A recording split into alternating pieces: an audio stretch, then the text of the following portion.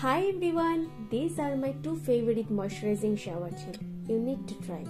First one is Plum Body Wash in the variant Feeling So Rose. It lathers very well and nourishes your dry skin. It is totally vegan. I love this fragrance. I'm gonna definitely repurchase it.